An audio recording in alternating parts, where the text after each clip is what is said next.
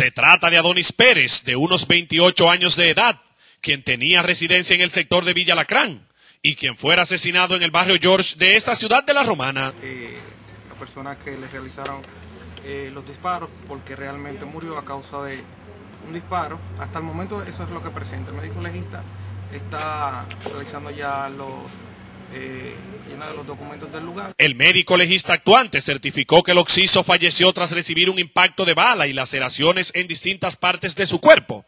Por hasta ahora, personas desconocidas. Tiene un impacto de bala en el flanco izquierdo, es el orificio de entrada. Tiene salida en el costado derecho, en el paciente costado derecho.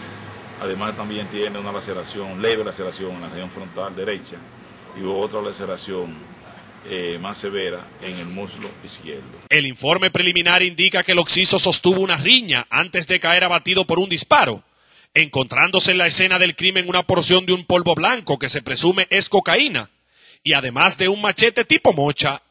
Según declaraciones de su hermana Karen Elizabeth Peña, dijo que su hermano había salido rumbo al indicado barrio junto a un tal Manolo a vender drogas narcóticas, por lo que le pide a la policía agilizar las investigaciones, bajo el alegato de que esa pudiera ser la primera ficha del tablero.